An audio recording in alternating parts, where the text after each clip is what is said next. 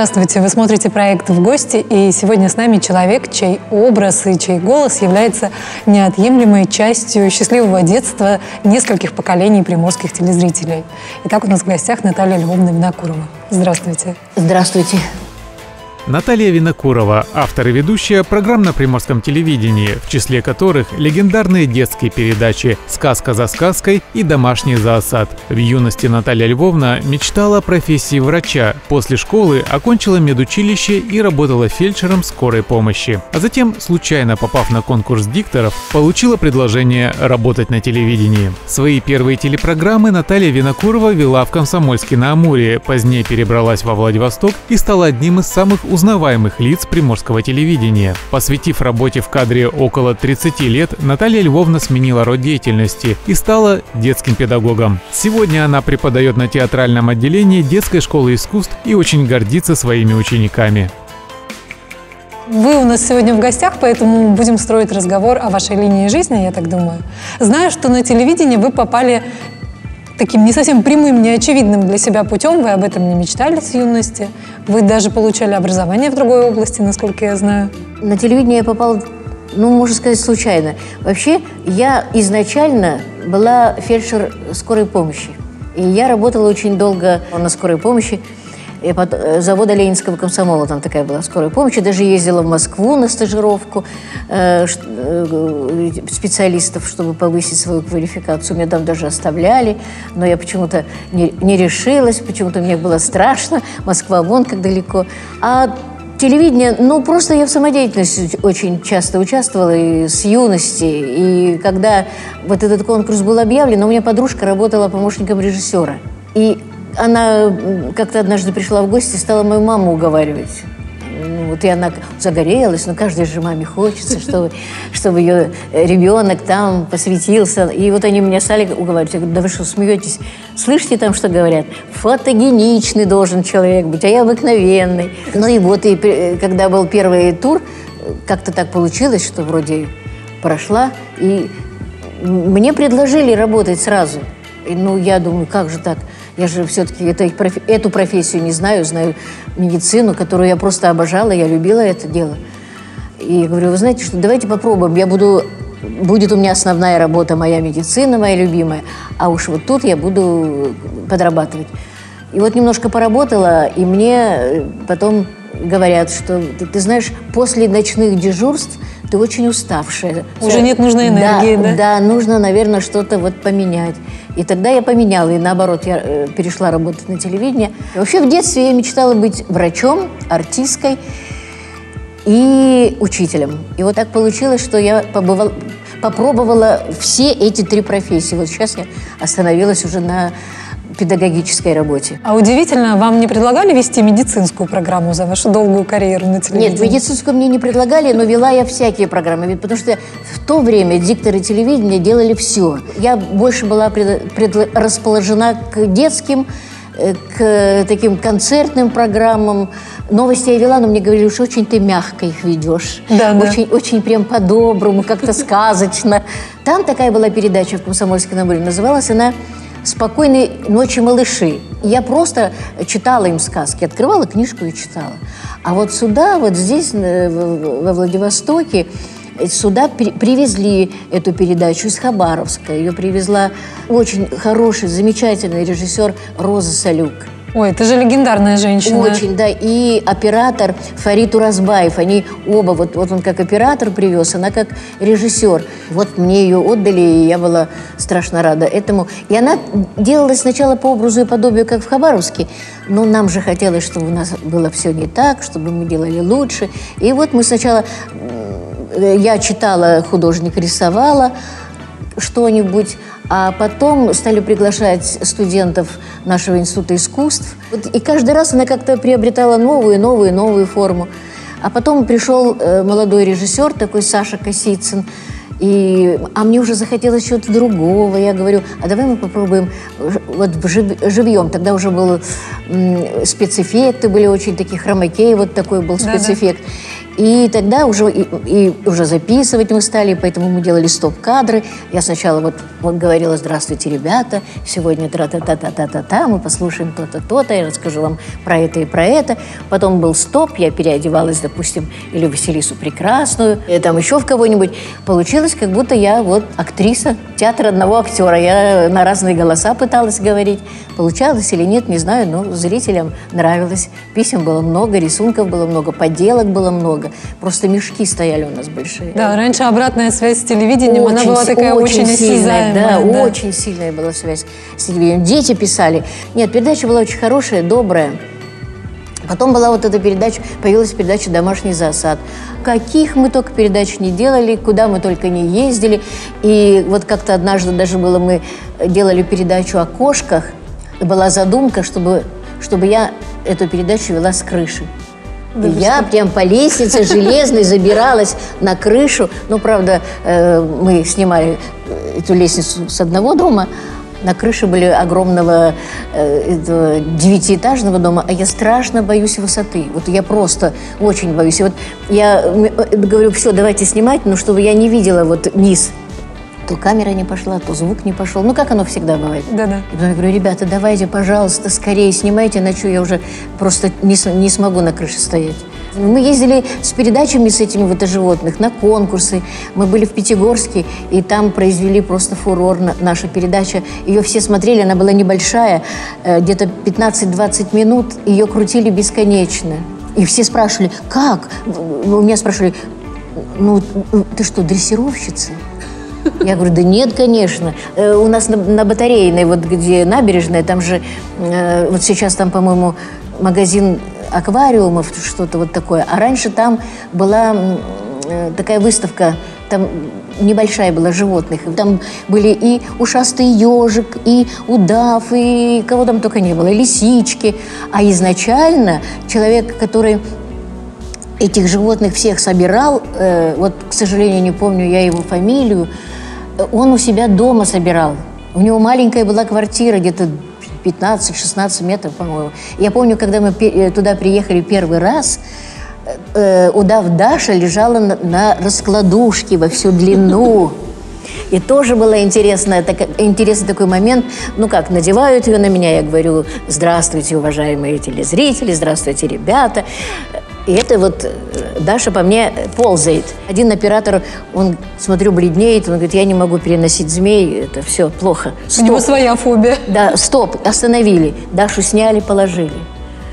Потом опять Дашу надели на меня, значит, начинаем снимать что-то с- со звуком. Сняли, положили. В общем, так ее э, снимали и клали на раскладушку раз, наверное, пять. И когда в очередной раз на, на меня ее надели, вот тут я поняла, почему удав называется удавом. Потому что она обве- ей надоело, это же, это же животное. И все, она обвела меня вокруг грудной клетки, я чувствую, она начинает меня сдавливать. Думаю, только бы текст не забыть, только бы не забыть текст. И, и, ну, ни в коем случае не показать всем остальным, что со мной что-то не так. Потому что бросится меня выручать, а змея подумает, что тут вообще ей плохо хотят сделать. Что будет, не знаю. И поэтому я таким немножко придушенным голосом говорила. Ну, всегда же, когда выйдет в эфир передача, и это у нас, и у вас, наверное, какой-то день, когда обсуждают, день, когда летучка, и когда говорят, что-то получилось, что-то не получилось. Ну, вот и дежурный критик говорит, да, передача интересная, все хорошо, только почему-то Наташа каким-то таким сдавленным, задушенным голосом говорила. А я потом подошла к дежурному критику и говорю, вот если ты попробовала вот так, она говорит, а ты что? Говорю, да, такая вот была ситуация. В объятиях В удава. объятиях удава. Ну, все, мы подружились с Дашей. Каждая передача чему-то меня учила. Э, Передача «Сказка за сказкой» учила и понимать детей, любить их. Так- Вот просто их любить такими, какие они есть. Шумных, значит, шумных. Тихих, значит, тихих. Капризных, значит, капризных. И я поняла, что не надо их переделывать. Нужно просто с, с ними дружить, их любить. И тогда они будут тебе делать все, что ты хочешь. Как захочешь, так ты их выстроишь. Я вот сейчас э, педагог, у меня много детей э, в школе искусств. на театральном отделении. Порой мне родители говорят, вот мой такой, такой, шалит, он, наверное, вам там не дает ничего делать. Я говорю, «Ну, сегодня не дает, завтра даст. Сделаем.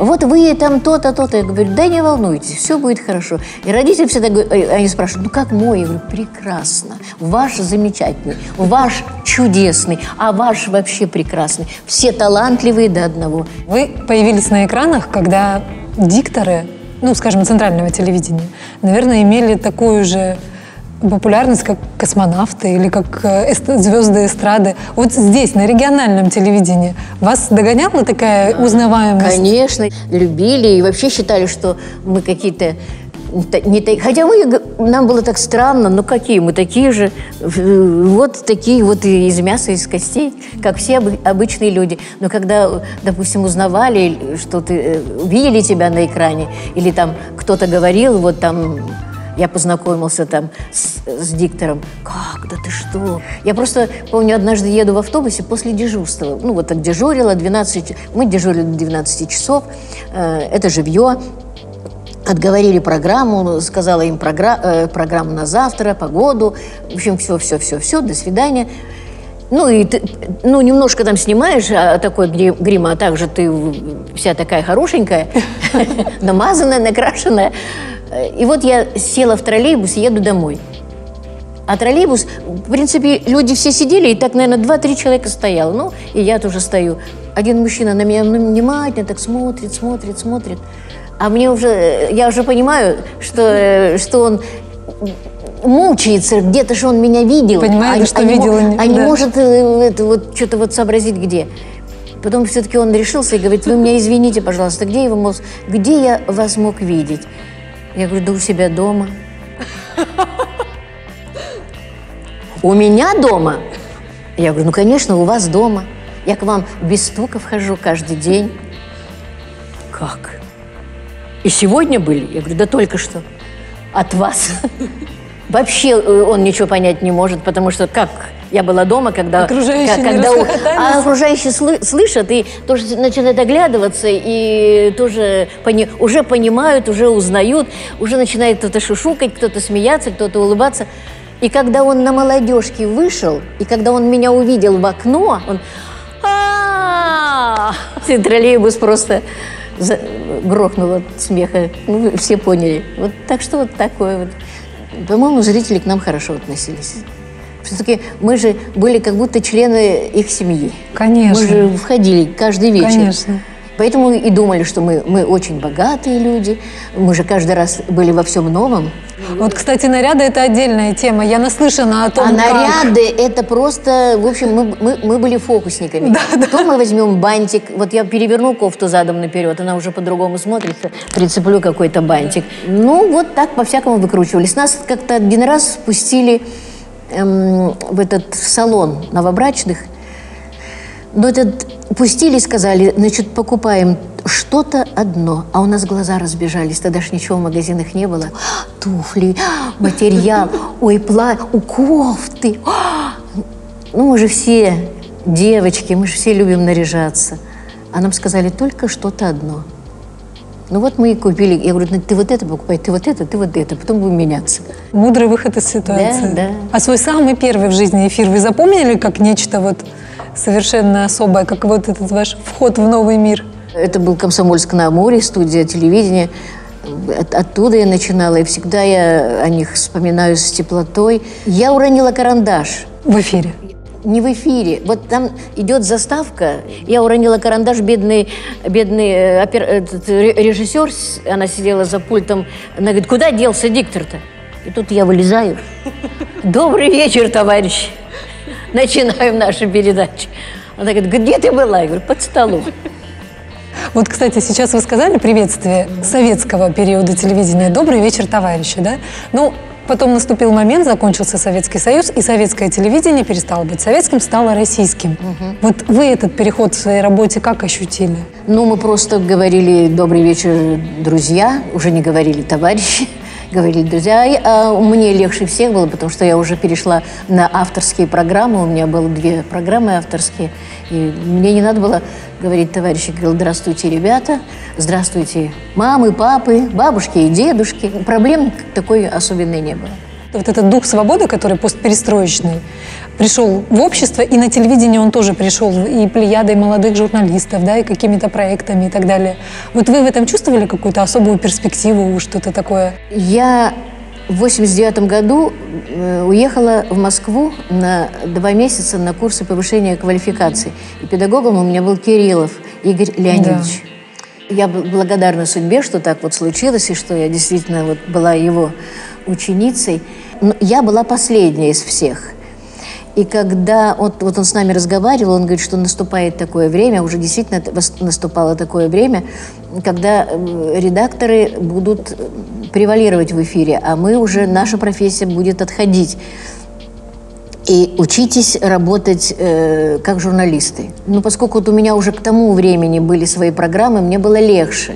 Ну, не знаю, я не могу сказать, у меня как-то это вот само собой произошло, потому что я снимала, я брала интервью, я писала тексты. Вот я лично этого не чувствовала. Вы уже были готовый журналист да, и я, для нового времени. Я уже да. вот как-то так оно само постепенно, так оно и произошло.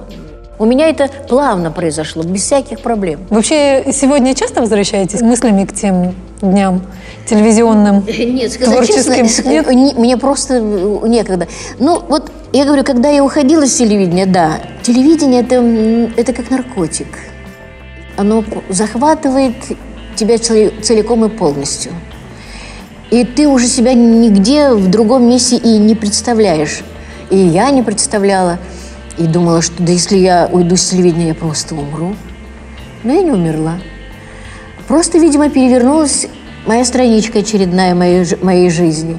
И вот я стала преподавать. Видимо, во мне столько накопилось всего того, что я могу дать, и я это раздаю. Вообще в вас очень чувствуется вот это игровое начало, это артистическое, детское. Мне кажется, ваш внутренний ребенок, он по сию пору живет в вас. Ну, Вы его чувствуете? Это хорошо. Я даже когда работала в медицине, то я начинала э, с детского, э, с детской поликлиники. Я работала э, с врачом, сидела э, с врачом, а потом так получилось, что врача не стало, ну, дефицит тогда был э, медицинских работников с высшим образованием. Я же все-таки была средним медицинским работником. А фельдшеру позволялось сидеть одному на участке.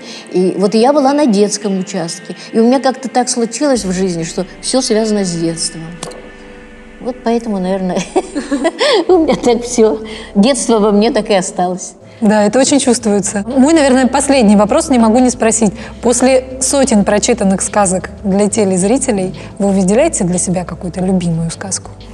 Нет, любимых сказок нет. Все сказки для меня самые замечательные. Вообще, любимые мои сказки – это такие, которые я читаю своим, рассказываю, вернее, своим внукам. У меня два внука, я, когда они совсем были маленькие, сейчас одному 8, другому 10, ну, уже не совсем крохи, а когда они были маленькие, вот сначала э, Алешке, старшему внуку, я придумала сказку про Фифу, такая сороконожка Фифа, потому что у нее было очень много ножек, и она такая выброжульстая была, и она наряжалась, смотрела на себя в зеркало и говорила, фи, вот это я не надену, фи, вот это, поэтому ее прозвали Фифой. А, а еще я хотела, чтобы он выговаривал хорошо э, буквы Ф. Ф очень трудно выговаривается. Э, маленькими детьми. И вот я им, ему рассказывала, вот она туда-то пошла, у нее друзья были, бабочка Барби, кузнечик Кузя у нее там был, и, в общем, там у нее много-много всяких друзей было. А потом он стал заказывать тему. Он говорит, расскажи мне, как она по поехала на Северный полюс. Вот мы, значит, вот она собирает чемодан, она там едет, ну, всякие приключения. А концовка должна быть такая, что а, ей нужна помощь. Она попадает в какую-то ситуацию, такую очень опасную, и вот никто уже ей помочь не может. И тут на помощь приходит мальчик Алеша. И он, конечно, отхлоп... и ругает ее, отхлопывает ее, и, и садит себе в карман, и они возвращаются домой. Потом появился Илюша. И, и, Илюша, и Илюша тоже подключился к этому. И он тоже слушал. И вот они потом э, меня уже замучивали. Расскажи, я начинаю рассказывать, они начинают переби- перебивать и вклиниваться. И то есть э, у нас получается такая общая сказка. Этот рассказал, этот рассказал, этот рассказал. И вот такая вот прям большая-большая сказка. Мне кажется, Наталья Львовна, что когда у вас станет чуть больше свободного времени, вам нужно сесть и написать детскую сказку, оформить все ваши придумки в детскую книгу. Это будет прекрасно. Но пока, пока я рада, что времени у меня нет. Нету. Если оно даже и появляется, то у у меня обязательно появляется Алешка или Илюшка. И тогда у меня все на них. Спасибо большое, что заглянули к нам в гости, Наталья Спасибо, что Львовна. позвали. Я вам желаю такой же неиссякаемой энергии. Очень приятно рядом с вами находиться. Мне кажется, вы очень заразительный в хорошем смысле человек. Спасибо. Спасибо вам большое. Спасибо. До свидания. До свидания.